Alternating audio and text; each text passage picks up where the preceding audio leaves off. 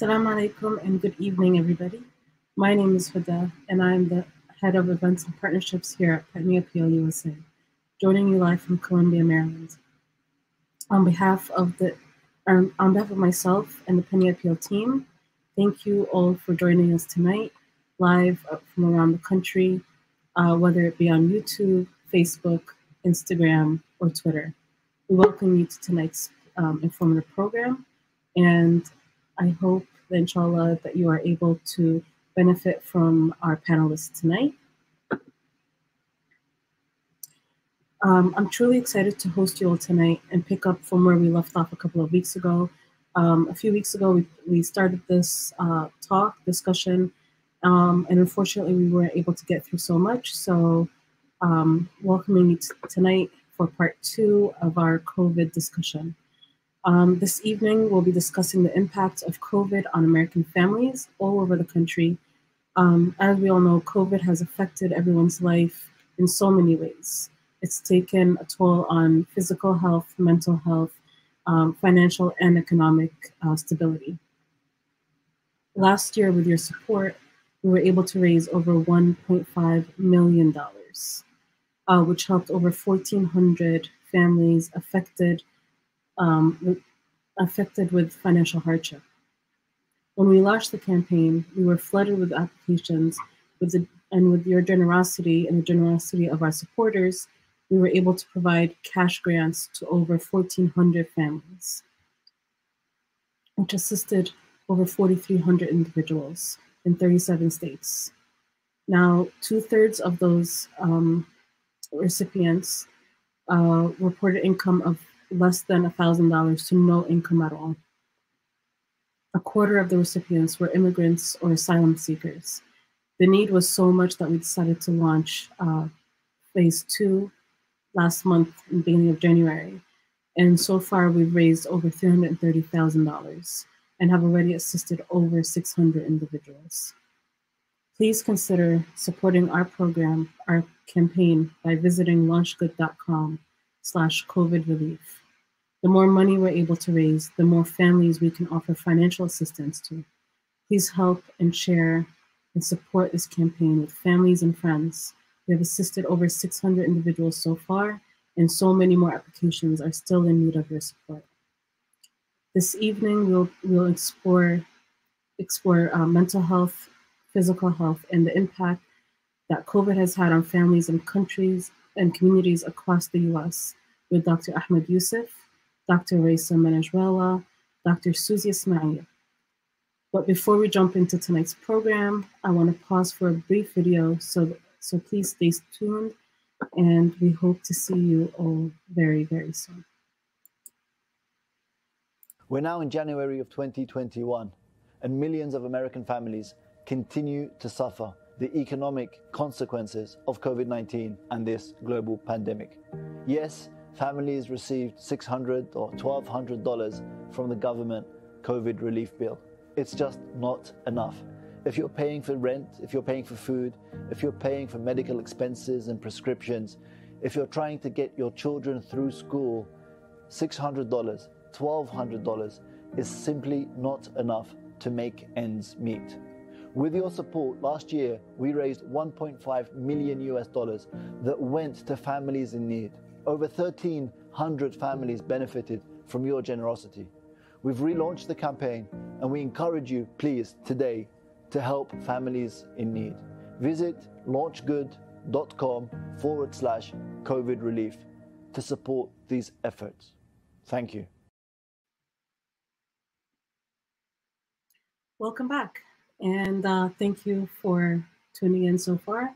Um, I want to take this time to introduce our um, panelists for tonight. First up, we have Dr. Ahmad Yousaf. Dr. Yousaf is, um, uh, is the medical director of the intensive care unit. He is a double board certified physician in internal medicine and pediatrics. He currently works as both a hospitalist and a medical director.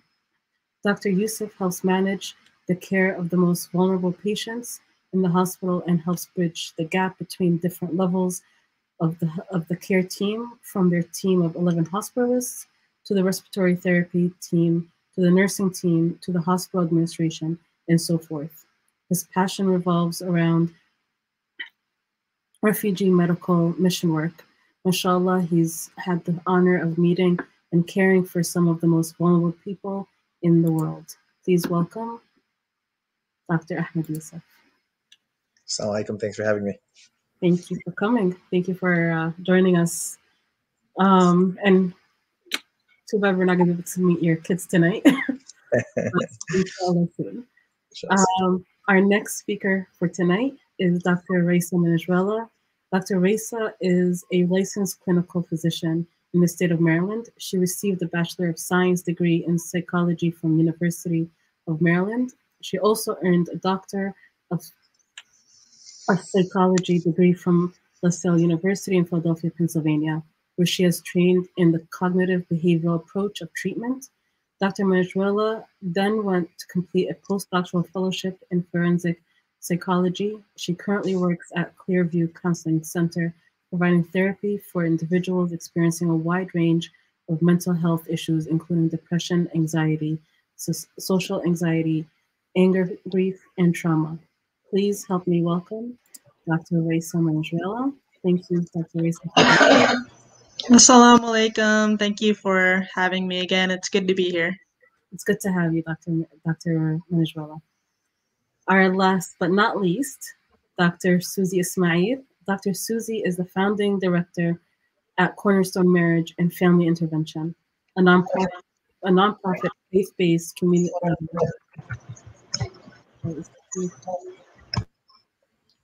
Sorry about that. Uh, Dr. Dr. Ismail is the founding director at Cornerstone Marriage and Family Intervention, a nonprofit faith-based communication intervention organization with several locations around the world that focus on youth, family, marriage, identity, social, socio-emotional wellness, and, and relationship uh, rebuilding. She specializes in education and empowering women, youth, vulnerable populations by presenting a range of workshops, lectures, programs, diverse seminars, and corporate trainings, both nationally and internationally. Dr. Suzy Ismail has traveled to the border of Syria to work with refugee women, families, and orphans, and continues her work with resettlements and relief agencies providing integration intervention. For more year, for many years, Dr. Ismail has served as an executive officer and director on several nonprofit boards, commissions, and organizations. She holds a Master of Arts in Communications and Master of, of philosophy in human services and a PhD in human services, focusing on family studies and interventional strategies. Please help me welcome Dr. Suzy Ismail. Thank you, Dr. Suzy, for joining us tonight. Thank you. Assalamu alaikum, everyone. Alaikum assalam. Um, thank you all. Um, I wanted to kick off tonight's uh, discussion um, I wanted to kind of pick up where we left off last time. I know last time we discussed um, the impact that it's had, that COVID has had on individuals, and how um, and how we can um, what we can do to help ourselves, and what we can do to sort of seek help and seek assistance from professionals um, and with that said, Dr. Raisa, um, I know that after we finished, we got a question through our chat, and uh, Dr. Raisa was able to um, cover that for us. And um, I would like you to talk about how what should do in terms of seeking help or seeking additional professional um, assistance. You broke up a little bit. Can you repeat that?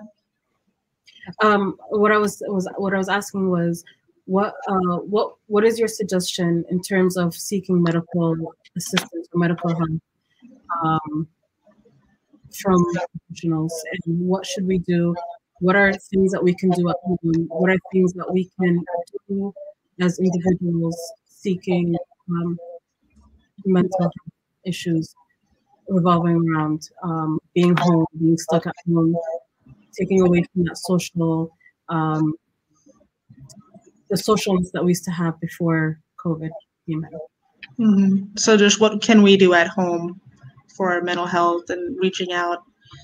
Um, yeah, like I mentioned, um, you know, reaching out to a therapist um, can be really helpful. Everything is really convenient right now with the teletherapy and the telehealth platform. A lot of insurance, uh, some of them are even waiving the copays for the telehealth right now during the pandemic. Um, you can even on psychologytoday.com, you can even try to look for a Muslim therapist if, if you feel like you'd, you'd be more comfortable with a Muslim therapist who can really understand your values and beliefs. Um, but yeah, you know, there's a lot of misconceptions about therapy. It's not like you're crazy or there's something wrong with you. It's really just learning how to adjust to these challenges, especially during the pandemic you know, really adjusting to this new normal, um, finding out, developing new interests, keeping yourself busy, still living according to your values. Um, you know, exercise is one of the main things we recommend. You can still go out, have some physical activity, you know, taking walks, keeping your distance, wearing your mask at all times. Um, that can really help improve mood, make it fun, biking, you know, hiking, um, you know, in the summer, outdoor activities, um, things like that, doing things at home, like reading, you know, doing some art if that's interesting, you know, as Muslims, you know, take the time to do maybe what you've always wanted to do, like learn some new surahs or reading, reciting the Quran, being really mindful, like in your salah, can be really helpful. Um, and yet always just staying socially connected social distancing doesn't mean social isolation so using technology to connect thank you so much dr Raisa. um, Penny Appeal USA supports refugees around the world. How has the pandemic specifically impacted communities involved in? Dr. Uh, Suzy, I know that you work with refugees um, here in in the U.S And um, I know through grants that we've uh, we've helped out with, you were able to support them. But what have you seen uh, with the refugee communities that you've helped out? أعوذ بالله من الشيطان الرجيم بسم الله الرحمن الرحيم Assalamu alaikum everyone. Um, it is uh, it's it's nice to be gathering again in this way. Although I know uh, we're all longing to gather in person. Um, hopefully, sometime soon, inshallah, in the near future, we'll be able to do that again. Um, you know, the topic of, of refugees and refugee wellness is, is an incredibly important one. And it affects us because as we've welcomed refugees, uh, you know, in, in previous years, um, in the year 2016 and onward from there, um, we we see that the refugee community has been struggling trying to integrate within the Western community in the U.S. and it has uh, been, of course, uh, with its own challenges and its own difficulties. Uh, what we're seeing with COVID 19 right now, at the start of the pandemic, um, back in March of 2020, there's a lot of information. Um, and among our refugee clients that we serve uh, across the US um, and also in, in uh, Europe and, and Canada, we were seeing a, a lot of difficulty, re traumatization, PTSD. Uh, uh, many of our clients were feeling uh, many of the same feelings that they felt when they were trapped at home due to bombs and wars and um, other types of trauma that they were experiencing. So one of the first things that we wanted to do was to build a sense of community um, because that sense of community is something that drives many of us. And, and we feel it ourselves now a year into the pandemic, um, particularly during those early months of lockdown of not being able to connect with others.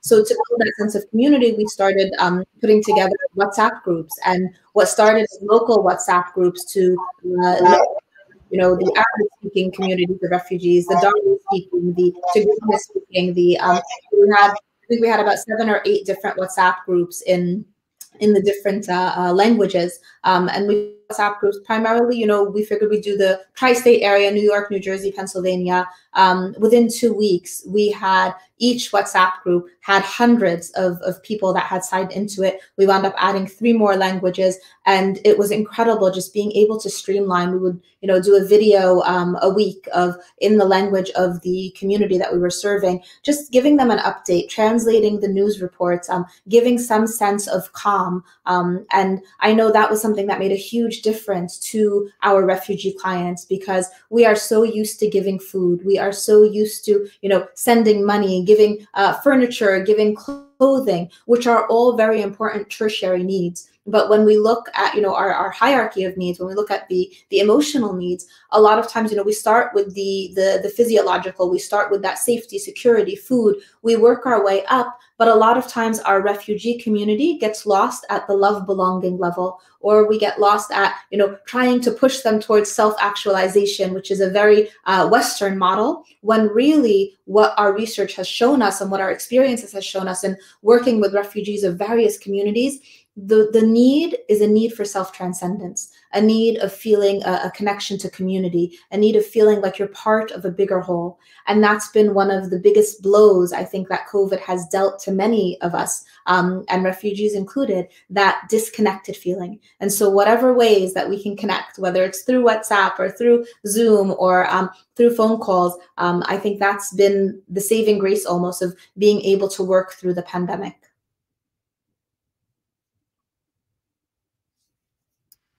Thank you, Dr. Suzy. Sorry, I was looking for my unmute button. thank you. So, uh, thank you for covering that. Um, Dr. Raisa, is there anything that you would like to add uh, based on your uh, work with um, patients? Yeah, the yeah, the social connection is definitely important to emphasize. Like Dr. Ismail is saying, um, that sense of belonging. A lot of people have been feeling really lonely, um, you know, missing their lives, going out in the social world. Um, but there's so many resources and ways to connect online. Um, there's this website called meetup.com, and usually it was in person to meet new people um, wherever cities you're in, like book clubs and hiking groups and art groups and film clubs and things like that. But now they're doing a lot of that stuff online. So that's a great resource I suggest to my clients um, to still be able to socialize, meet new people locally in your area. Maybe you can meet them later on um, when things are, are safer. Um, but that's really important to just, you know, still take advantage of the technology to connect with people. And Dr. Yousaf, um, I know that you are I mean, you're in the hospital all day, so I'm pretty sure that you see a lot of it happening um, in person. What are like what are some of the stories, or what are some of the things that you've been dealing with um, in the hospital? You know, I think I think the uh, uh, both doctors have already mentioned some of the, the key issues, right? And and I think uh, one of the things I think back to is certain fields, right, in, in healthcare or, or, or otherwise uh, it's almost like you're supposed to have a prerequisite to have somebody else that you that could be your own psychologist or psychiatrist, right? So, you know, many psychiatrists have a, a secondary person that they, uh, you know, unload uh, some of the burden of, of, of, having to deal with a high stress environment. Um, and, and, and when we think about refugees and, you know, the many places I've been with refugee work, uh, you know, the sense of community that Dr. Ismail spoke about was the key way that they were able to cope, right? It was the only way they were able to cope was feeling part of uh, finding a purpose within the community that they were doing that made them feel uh, like they had power over the small things they could have power over. I think paralleling that to where we are, where everybody collectively has experienced, uh, and, and, this isn't to compare it to to, ref, to, to, to, the refugee situation, but just a collective trauma in some respect uh, that's been prolonged and drawn out and and and uh, kind of beaten over our head to a certain extent, and the loneliness and, and all the things and the harm that can come as a consequence of those uh, environments. You know, you, may have to find your person, right? Or or people, right? You have to find your. I think Dr. Manejwala said it right, right? You know, find a therapist, right? Find somebody, and if you can't find a therapist on the front end, um, you know, find people in the community, uh, you know, who, who who you can look to to be your uh, soundboard and to be to, to be at least the beginnings of conversations of of healing and managing and coping with with all this kind of collective uh, difficulty and hardship people are going through.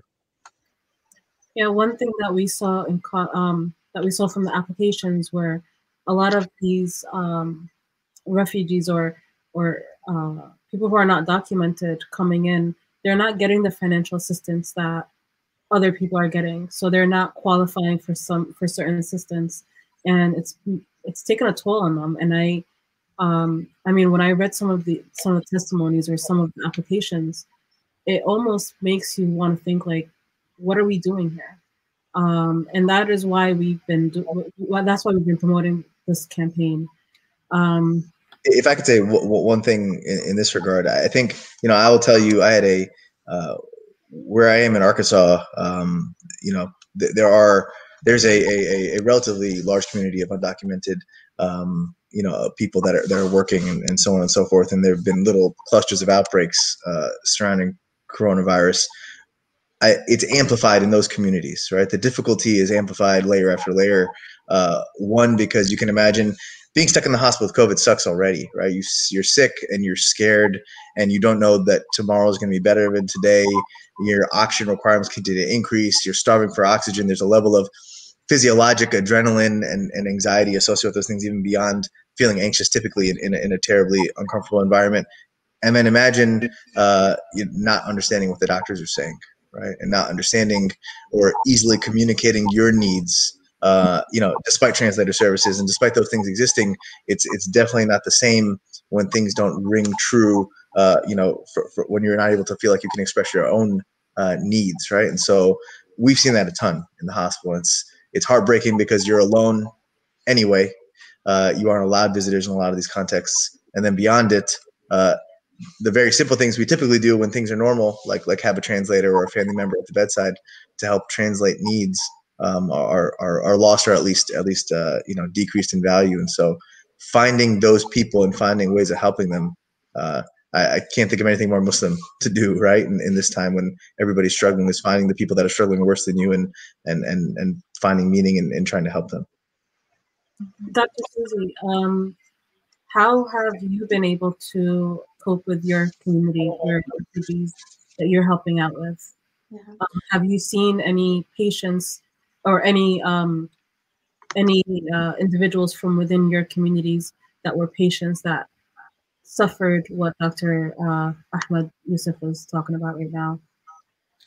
Yeah, no, I think it's it's it's great that Dr. Ahmad mentioned the the linguistic element um, and the difficulties of understanding why um, they would have to be alone in the hospital. Um, and I think, in addition to the emotional uh, damage or the emotional repercussions, of course, we can't you know deny or ignore the physical um, the loss of life the loss of wealth you know the loss of um, you know what little wealth there was that was sustaining the family is no longer there. Um, the loss of job the loss of um, just a feeling of, of normalcy. Um, and on top of that you know one of the big things that we're also seeing is the drop in terms of education i mean many of the children in our refugee communities were struggling uh, from the get-go in terms of adjusting to uh, school adjusting to the education here. And then suddenly you slap on this virtual education where children who know the language, who know the culture, who are comfortable are struggling now multiply that by 10 for families who are you know are, are really really struggling and don't have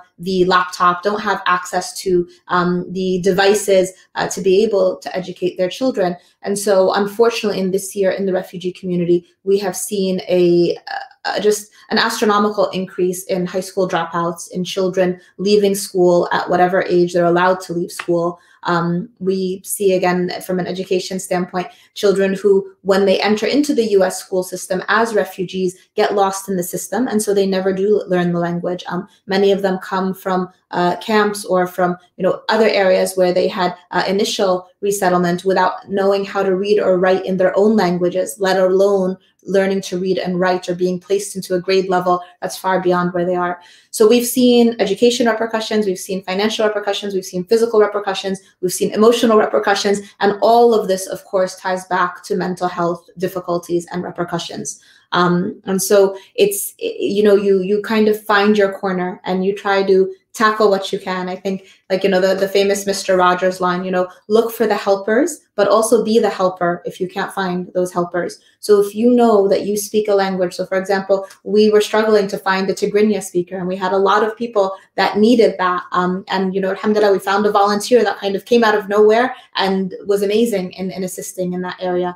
Find what you can help with. And it's, you know, uh, one of the, the proven kind of, um, uh, I guess, non medical uh, remedies for those who sometimes struggle with their own depression or their own uh, mental health difficulties um, is to help someone else. And in extending that hand, you're kind of helping yourself as well. Thank you, Dr. Suzy. Mm-hmm. Um, Dr. Raisa, would you like, do you have anything that you'd like to add? Yeah, that's great. You know, just um, adding to what Dr. Ismail said, um, that can bring about a lot of meaning to our lives when we're helping other people. Um, you know, uh, a lot of purpose, um, and in a way, you know, Islamically, that's part of our worship as well. You know, just helping other people, um, living a meaningful life. I always recommend volunteering to my clients, you know, to find some kind of purpose, to enjoy something that they're passionate about, finding some kind of cause, seeing how you can help out. Um, and that can uh, really be helpful for our mental health. And, and like you, like Dr. Ismail said, like it helps others and then it's helping you at the same time, helping you feel better about yourself. A lot of people want some kind of purpose, obviously, in their lives. And um, so that really kind of helps them and, and finding maybe some ways online. You know i know everything's online now but finding a way you can contribute um, doing something online. Um, for instance in college i used to provide support for abuse victims on an online hotline like an online chat. So you know finding something you're passionate about and they should have something that you can do virtually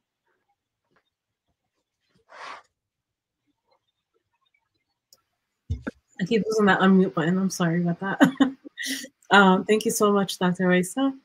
Um, my next question for tonight is, um, how often do you find young, healthy patients being admitted and what seems to be the most common ways that people are getting affected? And are you seeing a pattern or spike, um, especially after a long weekend? And what would your, what's your suggestion, Dr. Yousaf? So you know, um, I'm going to be as thorough with this answer because it's it's a it's an important one to to, to understand the reality and, and and also kind of speak to um, you know actual absolute scientific risks, right? So this is just being forward and honest. The vast majority of people that are negatively affected by COVID are above the age of 65. Um, are are in terms of mortality, talking about death specifically, and um, or uh, of the younger populations that that seem to really be affected um, are are have significant comorbidities, specifically morbid obesity being being one even more than than lung disease, right? Which is kind of counter to what we think of a lot of diseases uh, from an infectious disease standpoint. Um, diabetes seems to be a, a huge player also. Um, so th- those are the two major factors. If you asked me, uh, have I seen somebody young uh, die in the hospital from COVID in the last nine months? I've seen many. I've seen many die. Um, you know, uh, not nearly as much as the elderly population, though, right? This disease process vastly affects ages differently. It's the truth of um, the disease process at this point, statistically, as things become more clear over the course of the last year. That, however, me saying that and understanding those statistics uh, doesn't mitigate responsibility from us to take care of everybody uh, in our community and take appropriate, uh, you know, uh, risk management thought processes and, and and and for that for that in our family um, because the people who get affected are our neighbors in our in our community, right? Along with that, though, par- parallel to that also is uh, the the problem with COVID and the problem with the the overutilization of medical facilities, hospitals, and all that other stuff is that uh, people uh, will or may have had already uh, gotten sicker, suffered morbidity, injury, um, or complications, or died from other disease processes related to the fact that you know access to the typical stuff we're used to being uh, accessible weren't there or could you know potentially not be there if there's another flare up. So that's kind of the question, the first part of the question. The second part of the question, um, there's no doubt, right? The the the peaks in this country have been associated with uh, gatherings, right? I, I, we just now finally are seeing a downsloping trend from the uh, winter break associated with the Christmas holiday, right? Is just it's pretty straightforward. Two to three to four weeks after Christmas, there was a humongous peak in this country, and it lasted pretty long up until about a week ago. Uh, and then if you look in the last week or so, there's been a downtrend um, because large family gatherings and friendly gatherings definitely spread the disease quickly. And those gatherings, even if there are a bunch of young people at those gatherings, you take it home to your family and to grandpa and grandma, and then all of a sudden the hospitals are full again of really sick, lonely people who are dying alone. And I say that uh, because that's what's happening, right? So there's no doubt that people are dying. You know, I, I I'm gonna tell a quick story, uh, not to bl- but I was at a gym uh, meeting somebody uh, recently who owned the gym uh, in a local town here, and we were talking about things, and he said you know, COVID doesn't, it's not real, right? It doesn't really exist. He didn't know yet I was a physician who works on the COVID unit in multiple hospitals. He said, hey, you know, it's not, it's not real. Look, I'm an old. He was 60 something years old. I'm, I'm healthy and I'm, I'm good. Right. And, uh, and there's still that, that, that theme still exists somehow in, a country with enough media to, you think, uh, teach away, right. The myths. Um, but, but you have to be resistant to uh, the conspiracy theories and those type of things and go to the people who kind of are, are on the front lines of dealing with it right and i can promise you on my medical license in my life that that you know the icus have been full for many months with people that were dying of covid and so that's a really important thing so how do you take precautions uh, it's the stuff we've heard over and over drilled into us over and over again i do think uh, Donna brought up a couple points about using the IT world to to maintain social ties. I think that's super valuable. And I think I would take it a, another step further and say there's still ways to meet people in a safe way in the COVID context physically. You can't be within six feet of them, and you can't wear not wear masks, especially if you're going into different environments. There's things you have to common sense do, and if you do those things, then you really have to stay away from people that are elderly, right? It's all about mitigating risk and measuring the pros and cons of dealing in certain environments. Um, you just have to take those things into account. We talk to your family and your close circle of friends. Keep the bubbles small, right? but the bubbles can exist as long as you do it do it in a safe manner. So. Thank you so much, uh, Dr. Yousaf. Um, my the second part of that question that I wanted to uh, follow up on was, uh, you touched you, you touched on that. You and Dr. Raisa using technology. Um, I, for one, have not left the house in many, many, many, many months. Um, but what do I do? I keep in touch with everybody through FaceTime, through Zoom, through uh, phone calls, and so on and so forth. Um, and just like you said, now you could even play games. Like I play Uno with my friend in California virtually. Um, and I think it's very important for people to realize that just because we cannot be out and about, it's not the end of the world. We need to find ways and we need to think outside the box to sort of um, still keep keep being engaged and still meet people, still keep in touch with our family and friends and check up on our family and friends. Uh, it doesn't mean that I have to be in your face um, to make sure that I am reaching out to you, and it doesn't necessarily mean that I have to be sitting next to you to uh, you know say what's up. So thank you so much, um, doctors all three of you for touching upon that.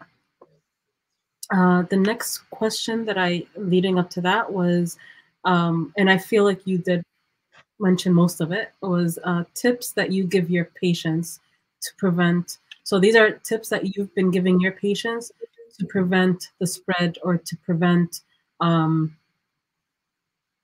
to prevent the virus, whether it be um, patients that you've seen or preventative care or patients that are being discharged. And what are some of the testimonials that you're getting from your from your um, your patients whether it be in the hospital or in your practice or dr suzy uh, with patients that you're dealing with within the community so I, I, think you know there's there's already been a lot of great tips shared in terms of uh, emotional wellness and and you know taking care of oneself and, and trying to reach out and, and being there in, in, whatever way that you can be. Um, I think maybe the other aspects that we want to look at is financial wellness um, and you know, financial factors and financial health have a huge impact on um, not just individual well-being, but also on family structure and family well-being. Um, we are definitely seeing an increase in domestic violence cases, um, in uh, issues of uh, abuse within the home. Um, and a lot of times when you're digging a bit deeper, you're finding that, you know, the uh, uh, eruptions of anger may be coming from a loss of hope, a sense of, you know, not knowing where the next meal is going come from, not knowing how you're going to pay the bill.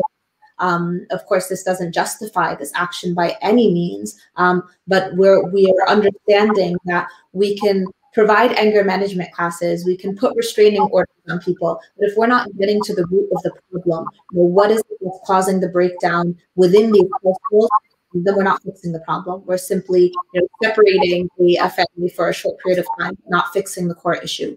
Um, so, you know, dealing with financial issues, if you are struggling with financial issues, if you are worried about the future, if you have a high level of uncertainty avoidance and are struggling with anxiety or stress, do not take it out on your family you know find avenues for help even if you feel like you can't afford speaking to a therapist or a counselor. Um, i promise you there are other avenues of help. Speak to an imam speak to um, you know a, a, someone that you can reach out to on the crisis text hotline. Um, but find other outlets. Do not allow your stress to call, turn into an eruption um, within the household, even if there aren't financial problems, just being in uh, each other's uh, vicinity, um, trying to uh, manage children who are uh, schooling or being educated from home, parents who are working from home, um, in a world where we've grown to become very individualistic and you know everyone's got their own path. You know you everyone wakes up early in the morning runs out the door and then you don't gather again until um, the evening COVID has definitely turned that upside down on its head. You know,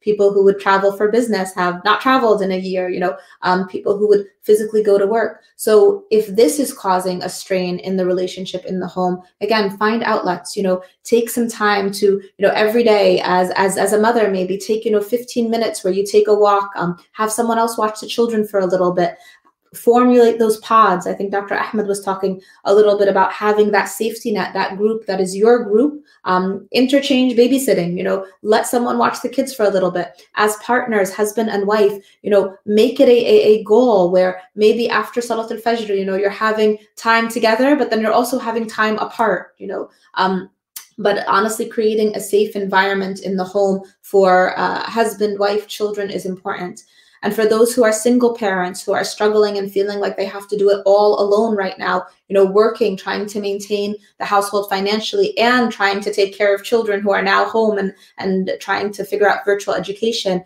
take a breath just breathe because it's not easy and and it's not meant to be done alone. So we go back to that line that we mentioned before look for the helpers. They're there i promise you. You know allah azza wa does not give us a test without also giving us the the solution to that test or the way to find ease in that difficulty. Um, and you know reach out. You can reach out to dr raisa i'm sure. You can reach out dr ahmad myself to huda um, and, and to penny appeal. I mean these are people and organizations that want to help um, don't just kind of throw your hands in the air and give up. This is a difficult time for everyone in all walks of life. Um, whatever your difficulty, inshallah, we can find a solution. Yeah, I think I think I think Dr. Ismail hit on exactly this beautiful thought process in my head that she kind of started by by talking about somebody looking for help, and then the person who they look for help to was looking for help by being somebody to serve somebody, right? And I think that's that's probably existing in an environment around us uh, without us realizing it, right? Just like, you know, the person who's looking for a little bit of support, there's somebody out there who, who wants to give support as their means of dealing and coping with, with their own issues. And so, uh, especially in the Muslim community, right? I think that there's a ton of avenues, especially through the masjid and, and you know, all these organizations like Penny Appeal. Um, oh, and again, right, like reaching out to to people um, like Huda and, and, and, and Dr. Ismail, Dr. Manejwala, and, and myself to help connect uh, you with those people is something that obviously that, that we'd be excited to do. Um, there's no doubt during this time, without specific uh, figures in my life that I could escape to, right, from my own home sometimes, right, just naturally, uh, or from work, uh, I, would be in a much worse place, right? And then and during the dark times of whatever period of this crazy thing that's been going on for last, you know, ten months a year, uh, there were times where if I didn't have the outlet, if I didn't have uh, a way of of you know again right finding a somebody I could I could just go to and and uh, and, and outside of my my little tiny bubble, but you know, but the in, in the greater sphere, uh, I think I think I'd be in, in big trouble. The last thing I'll say is something that I warn myself uh, about to myself often. Right? Is is uh, nobody's doing well keeping it together during this time. Right? I think there's like this sometimes, especially because it's all tech related and we get little snippets of people and especially in social media uh, there's a feeling like man everybody seems to be having such a freaking good time right? And and uh, and this is terrible right? And and uh, I, I can assure you as somebody who treats a lot of people and is involved a lot of people and is one of those people themselves uh, every uh, it's hard. This this is a a cruddy situation for, for, for people and, and we can all commiserate with you. And because of that you should know that there's people who, who, who you can reach out to Thank you so much. Uh, that was that was awesome. Um, and I I I echo what you said about you know not everyone is happy. Um, whatever pictures you're seeing on social media, it, I mean, don't look at those pictures and say, hey, you know, lucky them, they're having a good time, and I'm here miserable. Just know that we're all the same boat, basically. Um, and I know I, I've I've heard testimonies from um, recipients. One application that I that I uh, processed um, during phase one, um, I was I was torn when I read it. It was um, a family of seven who couldn't could no longer pay for rent, so they were um, they had to leave their home, and they were um, shoved into a homeless shelter and because of the family size and the ages, they were split up into two different shelters. The mother and the little kids went to one shelter, and the older kids went to another shelter. What happened was the mother ended up catching COVID in the shelter, and she had the little kids with her, while the older ones were trying to work while trying to just try to live through what they're going through. Um, I could only imagine the impact that it's had on the kids um, that are staying at the shelter um, while trying to virtually learn, trying to go to school virtually, trying to adjust to this whole new living without a home, without a school to go back to. Um, and a lot of people were, a lot of these families, they look forward to going to school because that's where they get their meals. Um, these kids, that's where they get their breakfast and lunch.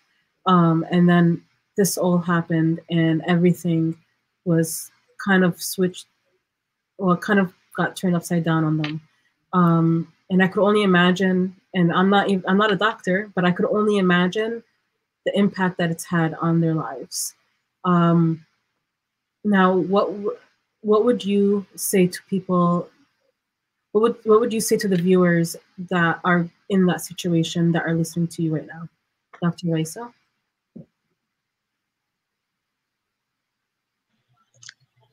Sorry, uh, could you repeat that question again?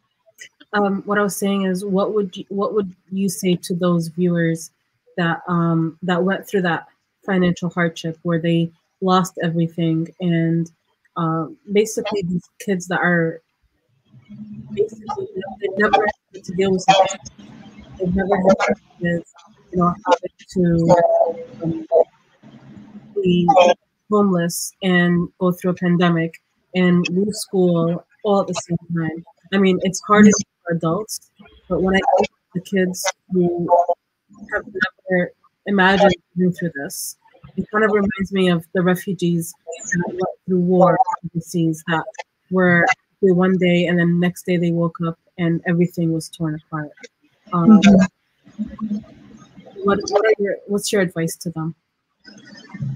Yeah, so that's uh, really heartbreaking, you know, hearing about a family like that who just lost everything, being in a homeless shelter and, you know, catching, ex- being exposed to the virus. Um, you know, I talk to my clients about, you know, really taking it one day at a time, you know, trying to see what you can do in this moment that's in your control, you know, whether it's, um, you know, out there looking for a job. I have a client who lost her job at the restaurant waitressing, and so she had to move back in with her parents. And so, trying to see who can maybe shelter you, reaching out to family and friends, you know, hopefully they'll understand that situation. Um, taking it one step at a time, look, trying to look for a job or someone who can connect you to some kind of way to make make some money for your family. Um, you know, a lot of people are worrying a lot during the pandemic. Like, what if something happens to my loved one? What if this happens and that happens? Try to ground yourself, bring yourself back in the present moment of like, okay, right now in this moment, you know, um, this is the situation where the kids are safe right now. We're we're we're doing okay. Um, we'll worry about that when the time comes. Um, so really, you know, trying to solve one problem at a time like you guys all of the doctors have said you know reaching out to you know those who can help you in the moment with what you're going through.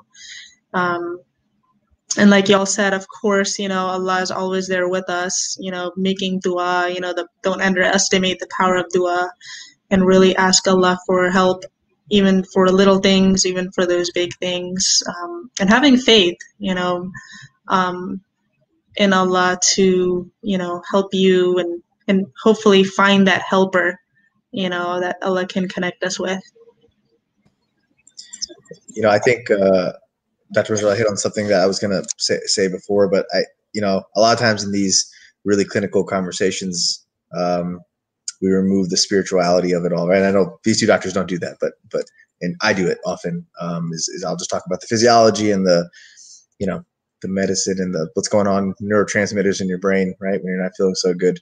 Um, but but all of that uh, only works in the context of our recognition of our relationship with with the one who created us right? It doesn't it doesn't make sense unless um, none of this makes any sense right? Covid makes absolutely no sense and the death and the difficulty makes no sense except in the context um, that we are being cared for uh, by by the one who created us knows us better uh, than we could know ourselves and, and has a plan that we don't often uh, understand um, you know until until things uh, become clear and so uh, I, something that I have been doing for myself and it's not a medical advice it's just my own personal advice for myself is you know Dr. Sheikh Yasser Fahmy who um, I made a joke uh, it's Sheikh Yasser Fahmy um, you know he, I remember once he was giving a khatara to us in the middle of the night in Ramadan, and he was saying, close your eyes and uh, imagine yourself in front of Allah Ta'ala, right?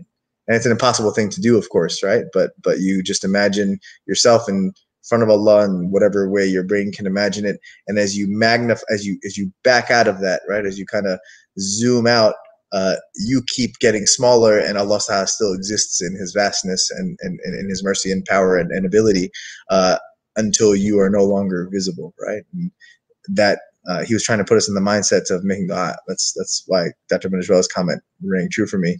But you know, when you do that, then these things that we struggle with in this moment, um, at least for for the moment, you're able to keep your eyes closed, uh, seem really small in the uh, comparison to, to, to the one who created us and created the environment that we live in. So.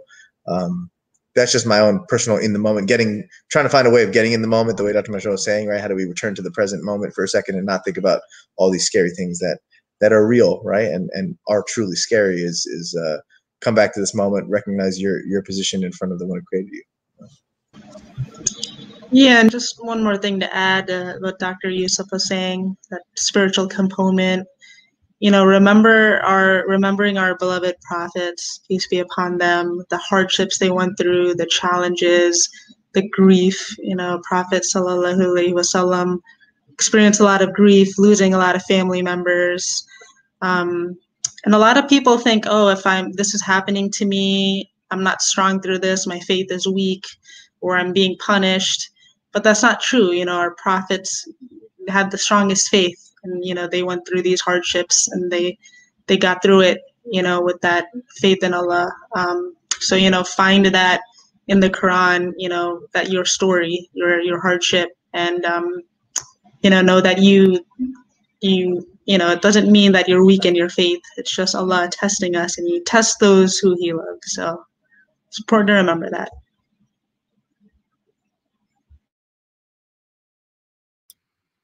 Thank you so much. Um, my next and I guess the last question that I want to uh, close the night with is Sorry, I just lost it.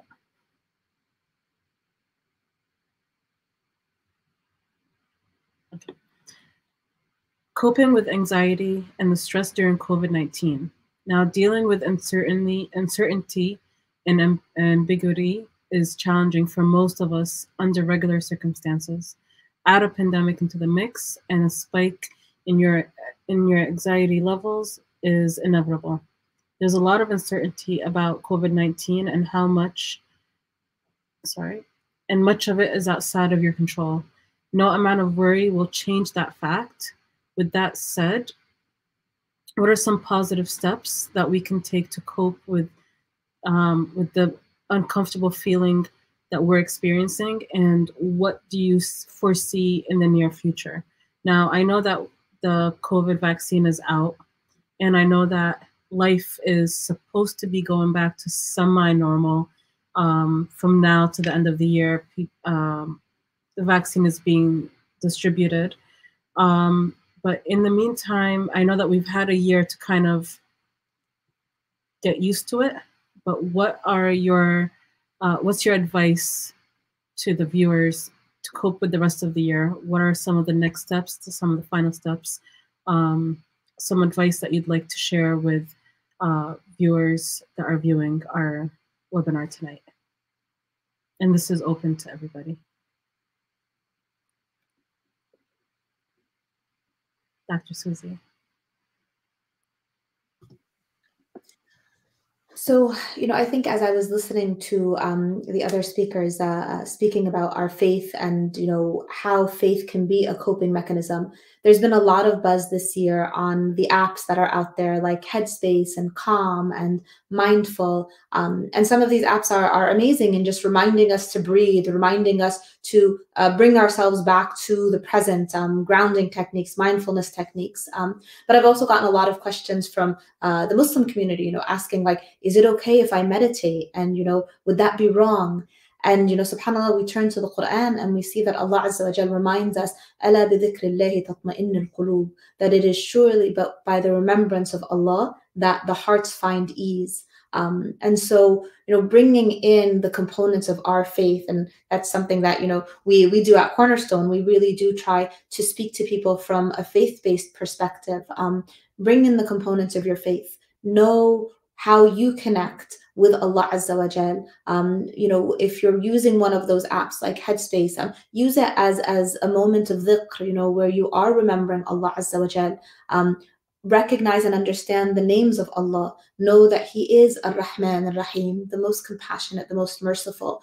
Know that even in the worst of difficulties, His Rahmah is there. Um, and I think utilizing that those aspects of faith as a connector to something greater than ourselves, greater than our trauma, greater than our difficulty, greater than our loss. There's no greater coping mechanism out there. Um, and regardless of where you see yourself on the scale of religiosity, you know, sometimes people will say, well, I don't pray. How can I really turn to Allah? Allah Azza wa Jal is there, you know, regardless of where we stand, whether we miss Fajr or we pray Fajr, whether we're late for Asr or we skip it entirely you know always turning back to him um, at whatever stage in our life we're at um, there's there's no better coping mechanism so i think that's uh, probably the, the the last bit that i'd want to share thank you dr yes. i think that was uh, beautifully stated I, for, for, for me it's it's uh, allow yourself to be optimistic and hopeful right you know i think the doom and gloom is so easy to just buy into and, and, and eat up uh, one because it's good news, right? And so that's what you're going to hear a lot of. Uh, and and but but there's no reason not to be optimistic, right? Alhamdulillah, we've gone through a lot of things in the last 30 years, right? You know, since 35 years since I've been alive, right? So it's just a lot of things that happened, and everybody thought that after one big event, the end of the world was coming, and this is one of those big events that will uh, be memorable one way or the other, right? But but inshallah, many years from now, we'll look back and talk about the terrible years of 2020 and, and, and part of 2021 where we all got stuck in our houses. Um, but but there's no reason not to be optimistic that the vaccine is going to be useful and helpful. That we're getting better at treating patients in the hospital, which we are. Um, you know, mortality rates have decreased significantly in in in in terms of the people who are are, are dead. It's we're not good at it yet, but we're, we're getting there, right? And and uh, the technology keeps moving that direction. Research is constantly ongoing from every country in the world. All the smartest people in the world are doing research on vaccines to find a way to fix this thing, right? There's no reason based upon our understanding. That's the scientific kind of secular mind, my thought process. And the other part is be optimistic because Allah says we should be, right? Allah is the one in control, right? And so uh, uh, if you think of our lives as uh, having a dance with Qadr, right? And Allah the one guiding guiding us on that dance, right? This is just us being guided, uh, you know, as, as the follower in this in this in this in this uh, thing that we do. Uh, and and there's no reason to think that the one who isn't guiding us doesn't have a really awesome, happy ending for this terrible situation. There's just no reason not to think that based upon what we know of him. So, so. And Dr. Yousaf, uh, just to quickly add to that, um, I wanted to also remind people, uh, re- remind our viewers that just because you took the vaccine doesn't mean you're superwoman or you're invisible woman uh, or invisible man. Uh, you still do need to be careful, um, Dr. Yousaf. Yeah, yeah. So, so yeah, this is a really important point, I guess, just from a scientific perspective. The vaccine has been really well studied, and and and and it shows that that no doubt a large portion of people that get the two dose vaccine from Pfizer and Moderna will develop antibodies um, you know, within 14 days after the second vaccine is like a really, really high percentage, somewhere above the 90s, okay, which is great news. Uh, what we know about that, though, uh, is that it will probably temper uh, or, or decrease the ability to get sick from the virus. However, it doesn't mean that you can't be a carrier of the virus. We don't have literature that shows that. Inshallah, it's the case. But right now, uh, it's kind of fuzzy gray stuff. And, and so you can be vaccinated or had the virus in the past, even, which is really uncomfortable to say out loud, and uh, be a carrier of the virus and convey it to somebody else. Um, at least that's what the literature has not clarified yet. And so, so I would just be careful, do all the things that we know we should be doing. Uh, you know, I'll, I'll poke Huda and say, Huda, you can leave the house. Just leave it in a safe way, right? and you know you don't have no she just wants to stay there forever uh, i think it's just this personality she's stuck in baltimore and misses new jersey so so you know the the but i think i think uh there are ways to do this there are ways to navigate this um and, we don't have to be in bunkers with with with uh you know radios we're not there yet right um alhamdulillah there, there's ways that we know can, we can manage this from a scientific perspective uh, and, and really decrease risk for those that we love and care about in the community as a whole um, and still have a meaningful quality of life and do, and do good things. So I'll stop there.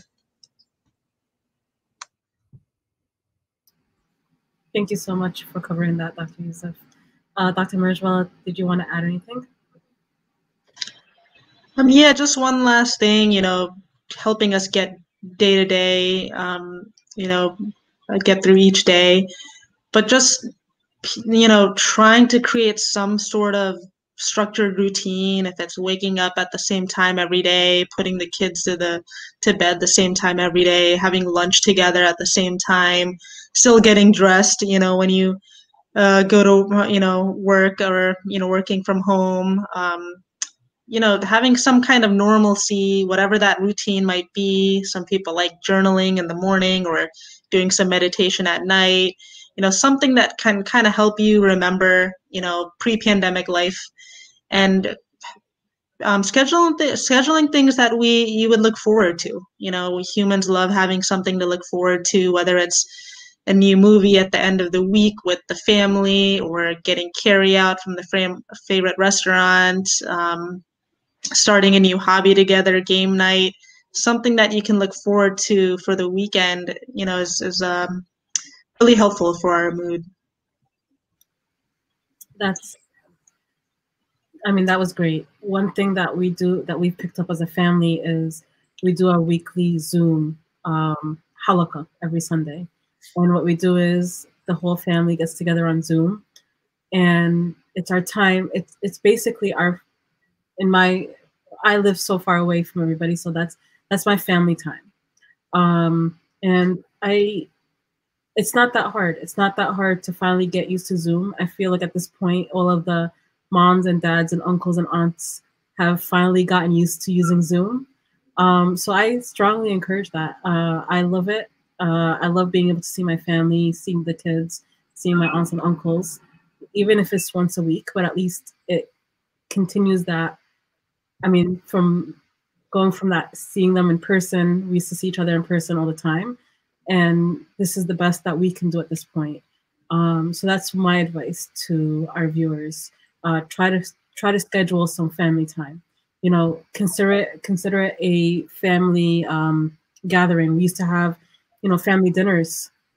Instead of those family dinners, let's get together and do a Zoom dinner, and everyone could just sit around and have dinner together, and you'll get still see your family and friends.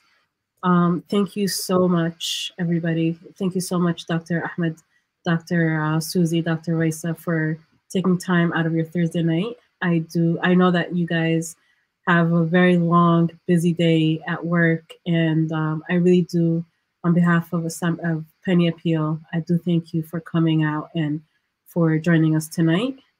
Um, Jazakallah khairan. Wassalamu alaikum. Walaikum salam.